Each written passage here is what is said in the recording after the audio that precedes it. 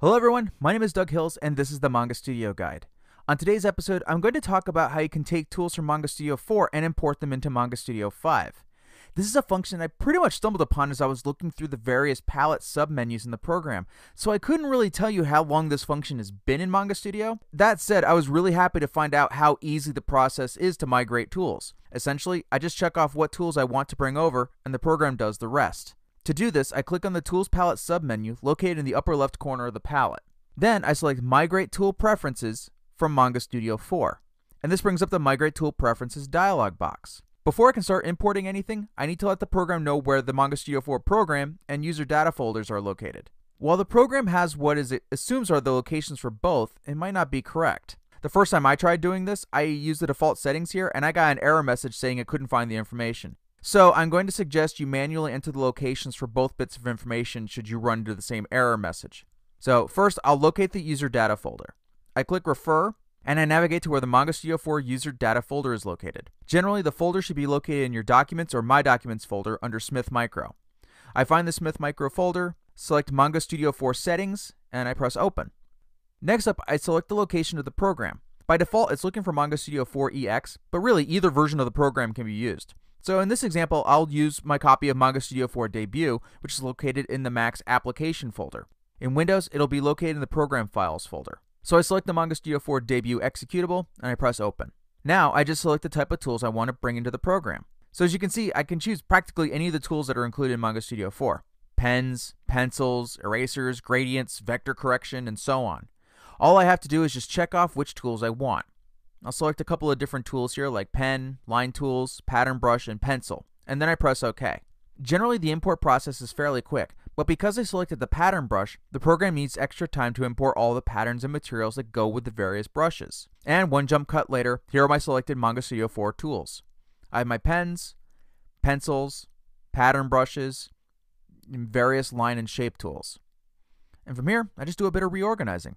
For example, I like to keep all my line and shape tools together, so I select each tool set, starting with the curve tools here, and then just drag the subtool folder onto the line tool. And I repeat this process for each tool set until all my line and shape tools are grouped together. I'll group the MS4 pens in with my other pens, and I'll rename that set by clicking the Subtool Palette submenu and selecting Settings of Subtool Group. I enter in a new name, MS4, and there we go. Going through the pattern brush tool, you can see all the patterns associated with each brush have been properly imported. So now I have additional materials that I can use in Manga Studio 5.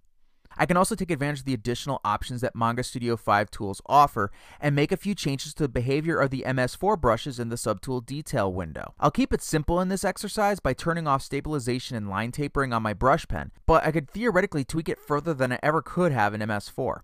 All of the options that the stock MS5 brushes have are here at my disposal with these MS4 brushes. And finally, let's say that I decide I don't want to keep the pencil tools.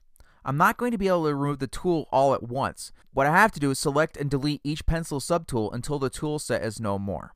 Now, the only tool option I've not been able to figure out is text style. I did test out trying to import this, but to be honest, I don't know exactly what it does. It doesn't create a new text tool, nor does it seem to change the settings of MS5's text tool. If I figure it out, I'll be sure to add a note to the video. In the meantime, it just seems to be a tool that you can skip trying to migrate. Now, I have heard on a few occasions how people who have been making the switch from Manga Studio 4 to Manga Studio 5 have missed some of 4's tools. With this function now available, making the switch from 4 to 5 will hopefully make this transition a bit easier. And one last thing, all the palettes in the program have their own specific submenus. So if you didn't know that these submenus existed, I'd suggest clicking through a few of them. You may find a few functions you didn't know existed, like migrating Manga Studio 4 tools into Manga Studio 5. And with that, I'm going to wrap up this episode of the Manga Studio Guide, which was brought to you by supporters like the ones you see here, as well as this episode's featured supporter, Seven. If you would like to help me keep these videos free for everyone, you can pledge as little as a penny per video through Patreon, or you can purchase books, rulers, page templates, or throw some money in the tip jar through my online store. And if you don't have any money, no worries. Subscribe to the Manga Studio Guide on YouTube.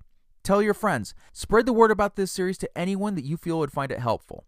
Every little bit helps me out, and it's greatly appreciated. Thank you all for your support and for watching this video, and I'll see you next time.